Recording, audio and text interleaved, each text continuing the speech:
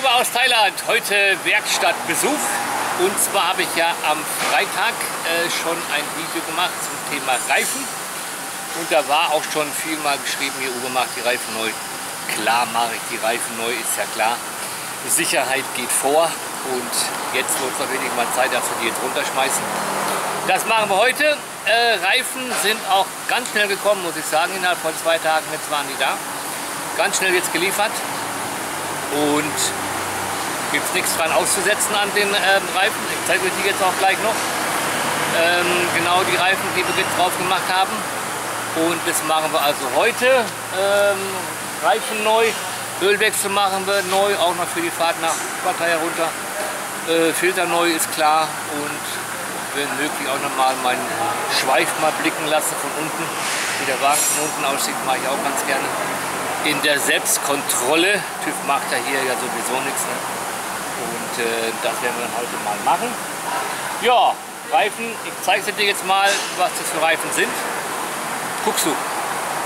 So Kinder, da liegen sie schon drin. Eins, zwei, drei. Ins Auto gleich reingepackt, kam innerhalb von zwei Tagen. Ne? Das muss ich wirklich sagen. Also das war jetzt wirklich, wirklich schnell, muss ich sagen. Ratzi Fatzi waren die da. Das Wichtigste ist jetzt natürlich hier Dot-Nummer.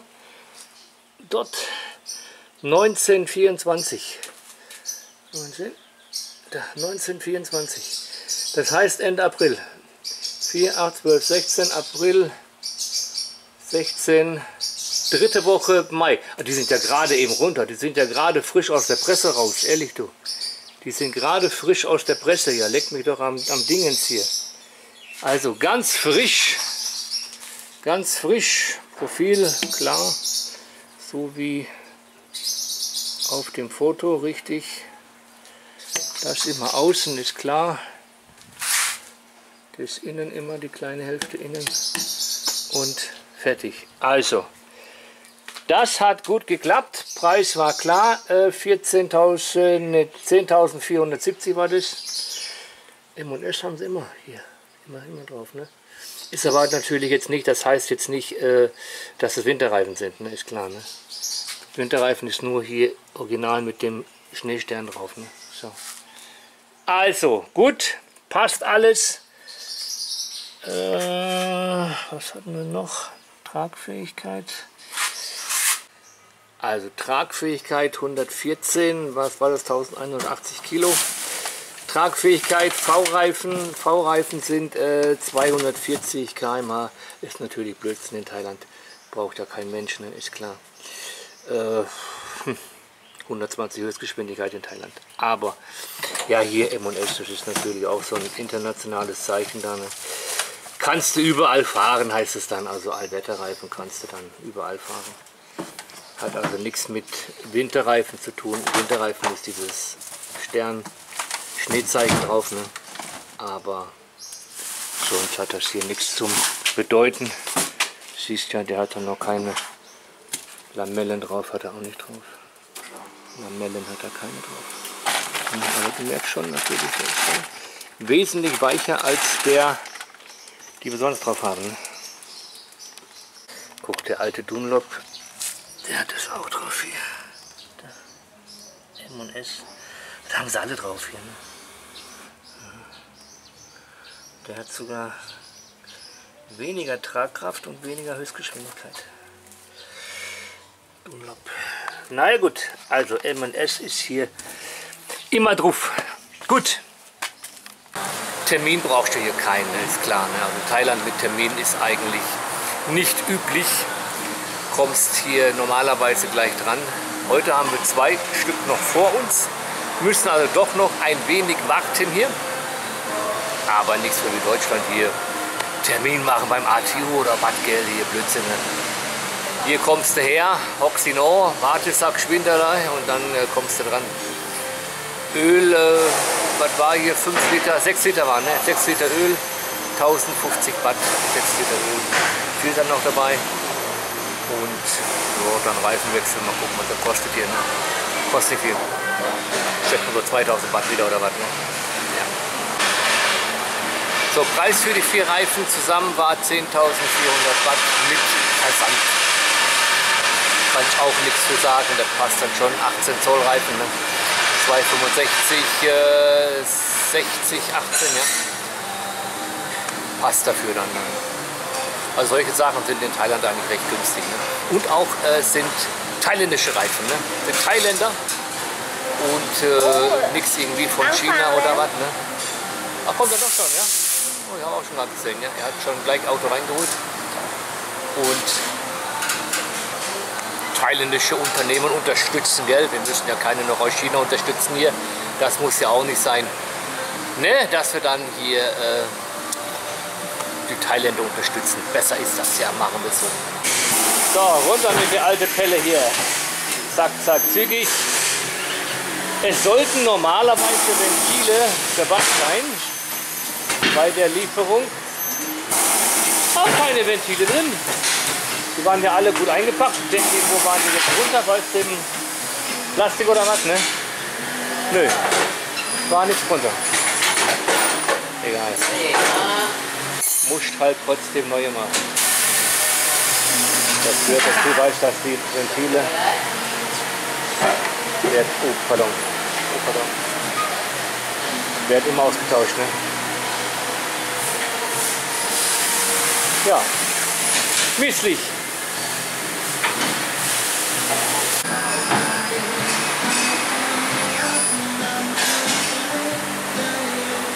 Ventile neu. Also, dass die nicht dabei waren. Ah ja, also 50 Watt einer Ventil hier. Misslich.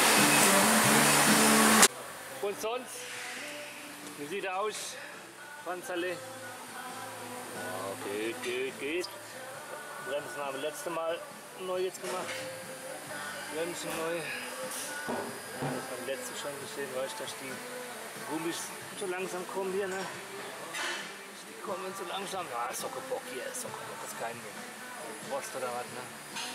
Geht, geht, geht. Ah, die Gummis kommen, ne? Ja, guck da, ne? Kommt da. Stabilisator kommt da.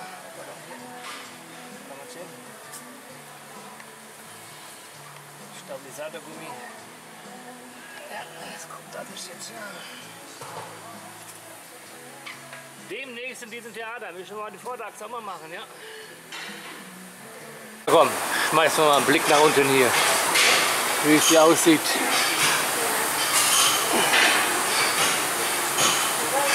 Wie sie aussieht. Grenzleitung. Ja, hier, Grenzleitung, Grenzleitung, welches?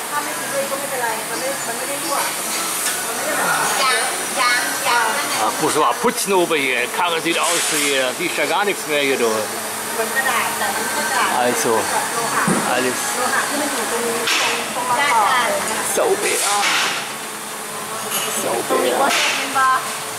เข้าถึงช่วงที่ออกมาแน่ๆเลยเห็นไหมคะโซเฟียค่ะพูดยังพูดเลยนะวันนี้จะมาพูดเลยครับครับ Elf Jahre alt, ne? Kinder. Elf Jahre. Der Panzer hier, elf Jahre. Passt.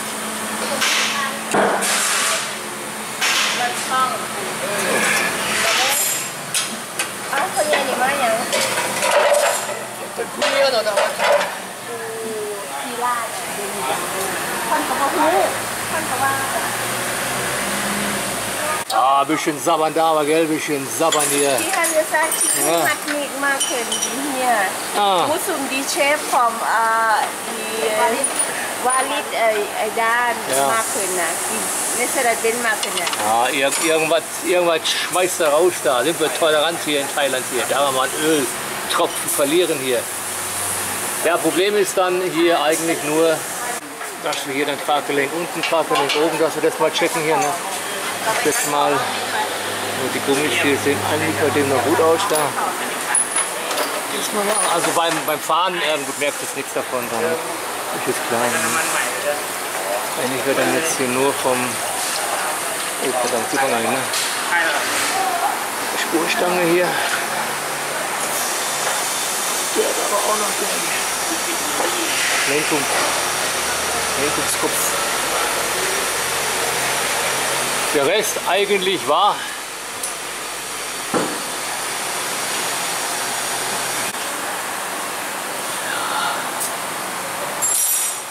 elf Jahre Kinder, da darf auch mal die Gummis kommen hier, ne? So ist das ja auch nicht. Kommt alles mal, die Gummis. Oh, ich gerade, haben sie richtig gemacht hier. Der gelbe Punkt sagt, da ist am, am leichtesten.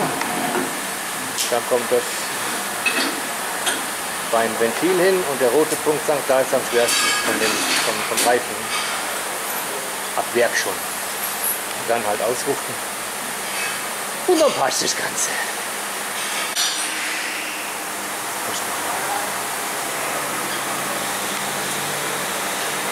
Oh, wenig. 25 Gramm. Wenig.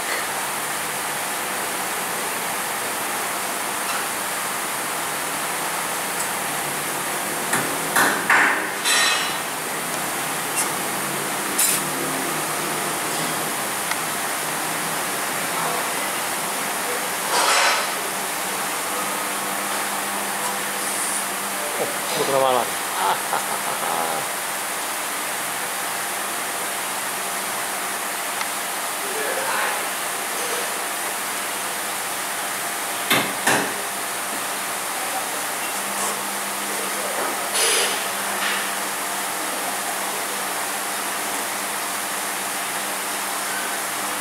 Okay. Einfach.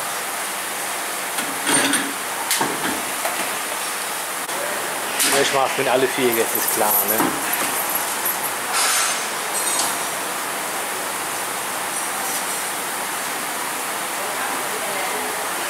Also runter.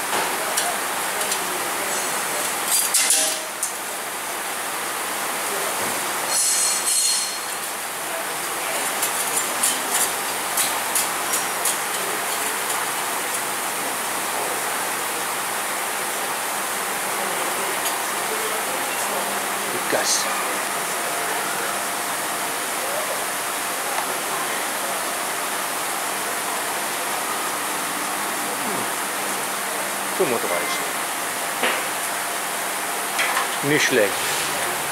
Muss man sagen, nicht schlecht. Also dann sind die Reifen schon mal nicht, äh, nicht so unrucklig von, von sich aus schon mal. Ne? Bei der Größe vor Dingen. Okay.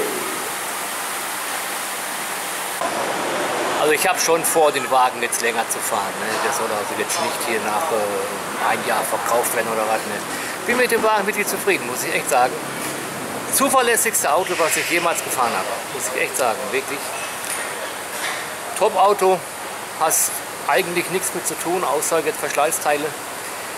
Wir hatten eigentlich mit dem Wagen noch keine richtige Störung mit gehabt. Ne? Der ist eigentlich immer jetzt gefahren. Äh, ja, eigentlich immer gefahren, muss ich sagen. Einmal war mit dem Dieselfilter, Kraftstofffilter. Da haben wir aber auch getankt hier an so einer Dorftankstelle. Ne? Und der Tank war auch schon wirklich ratzeputz leer. Ne? Da haben wir mal in Not jetzt getankt. Und da war der Dieselfilter zu, der fing an zu ruckeln beim Mitbeschleunigen. Aber sonst habe ich mit dem Wagen noch nichts gehabt. Ne? Und wir haben den jetzt, lass mich überlegen, knappe 80.000 habe ich den jetzt ja selber schon jetzt gefahren. Ne? 80.000 Kilometer einwandfrei. Sehr mit zufrieden. Gibt es nichts zu meckern da. Klimanetzanlage, das war ja auch mal, dass die äh, nicht mehr gekühlt hat, aber da gibt es ja auch schon ein Video von. Ne? Kommt natürlich auch, das sind Sachen, die im Alter natürlich kommen, von wegen hier mit äh, auch Verschleiß, ne? von dem mit Kondensator. Das kommt, solche Sachen kommen halt natürlich im Alter. Ne? Aber dass ich deswegen jetzt sage, ich äh, schmeiße Auto jetzt weg und kaufe mir jetzt einen Ford Ranger oder was, ne? Oder Dodge Ram, natürlich noch am allerbesten hier. Ne? Erste Mal kein Geld im Sack dafür, schon mal klar. Und äh, ich sehe es mir ein, also wirklich nicht. Das Auto ist wirklich einwandfrei. Zügig muss ich sagen, mit dem Turbo, 2,5 Liter Turbo Diesel, absolut zügig. Ne? Und es reicht für äh, in Thailand äh, allemal, ne? sage ich mal so. Ne? Zum Überholen reicht es mal. Ne? Also einfache Technik, ihr habt es gesehen, hinten hat er Starrachse drauf, Blattfedern dran, hält 1000 Jahre. Vorderachse, ich merke nichts beim, beim Fahren. Ich sage also, ich merke davon nichts, ne, dass da was poltert oder was, ne, merke davon noch gar nichts. Aber ich habe es ja letztens auch schon gesehen, dass die jetzt Gummis kommen. Und natürlich, wenn die jetzt Gummis gerissen sind, kommt Feuchtigkeit rein, kommt Schmutz rein. Und dann gehen die jetzt Gelenke gehen kaputt. Früher oder später gehen sie kaputt. Ne? Also du kommst nicht drum zu. Du musst sie mal austauschen. Ne? Bleibt dir keine andere Möglichkeit. Du musst sie mal austauschen. Oder du kannst warten, bis es anfängt zu poltern. Kann auch sein. Ne? Ja. Oder bis abreißt, kannst auch machen. Wow tut aber jetzt nicht Not. Und jetzt guckst du gerade mal nach, was Teile kosten. Ich sagte, glaube ich, Kragelenk oben, 1500 Watt, Kragelenk oben. Mit Arbeitslohn. Machen wir in Deutschland, Traggelenk oben. Äh, mit, mit Material, ne? Also, äh, das sind äh, 25, äh, das sind 40 Euro, noch nicht mal, nicht mal 40 Euro, Radgelenk tauschen. Ne? Passt, oder? Ne? Also von daher. Gleich noch mal gucken hier, was wir da noch finden, ne? was wir dann da austauschen müssen. Und dann machen wir das demnächst oder nächste Mal. Ne? Machen wir das dann noch mal. Kommt dann auch noch. Okay? Gas für die, für die Reifen, ne? Nitro, Nitrogen, Nitrogen. Sicherer Druck. Äh, ja, wird nicht so schnell entweichen wie äh, richtige Luft. Aber kannst dann halt nur hier wieder auffüllen. Ne? Kannst also jetzt nicht zwischendurch mal irgendwie mal prüfen oder was. Ne? Ja gut, würde vielleicht auch ent, entfallen, ne? weil der Druck nicht äh, so schnell entweicht.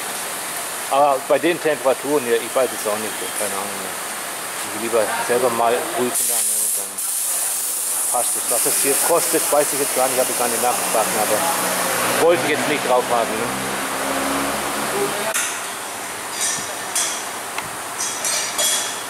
Knack. Knack. Knack. Knack. Ah, geil. Ein guter Timemechaniker hat den Drehmoment im Handgelenk. Knack. Knack. Knack. Knack. 125 Newtonmeter. Knack. Knack. Einwandfrei. So muss das sein, Kinder.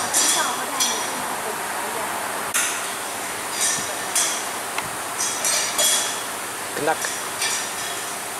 Knack. Knack. Knack.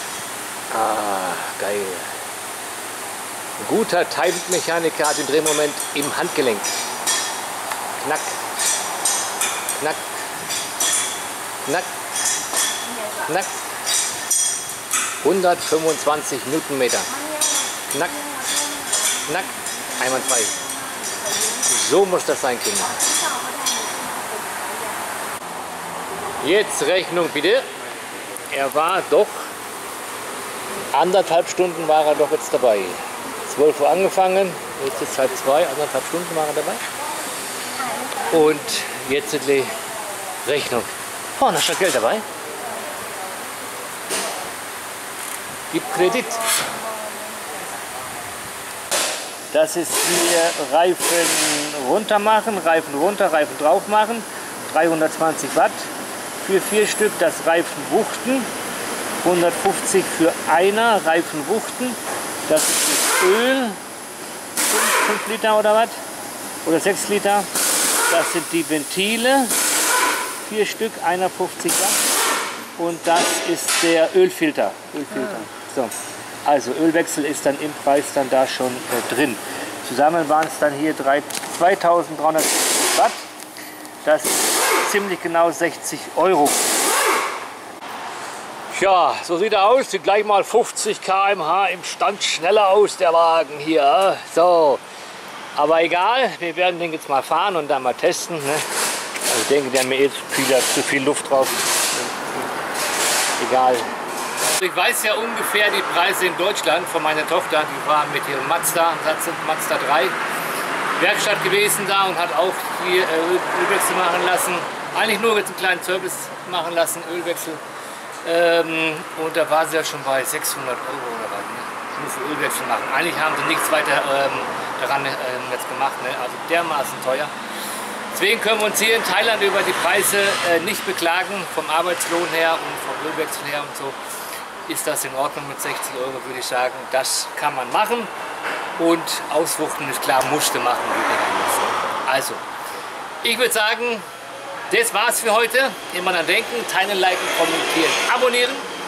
Der Uwe und die Porn aus Thailand und Tschüssle. ฝากกดไลค์กดแชร์กดซับสไครต์กดติดตามด้วยนะคะ เพื่อเป็นกำลังใจให้กับอูเอ็นพรค่ะขอบคุณค่ะชื่อสเลฮาประเดแอร์เลยแซ่บูดวิดีโอเกินเฟียติอุนชูสเล Und Tschüssle, ciao. แล้วเป็นนักนักไล่สุด Ja, ich sag, das ist, ja, wichtig ist jetzt fahren, gell? Muss schon fahren jetzt. Geile. Normal wird es jetzt regnen, Dad. Wenn Regen jetzt dann könnt ihr gleich mal testen. Obwohl, wir sind jetzt ja noch neu. Kannst du jetzt noch nicht richtig sagen. Fahren wir erstmal 50 Kilometer, bis der äh, Schmutz oben runter ist, was wir da an Pflegemittel drauf haben. Dann kannst du erstmal sagen. Also, okay. Tschüss.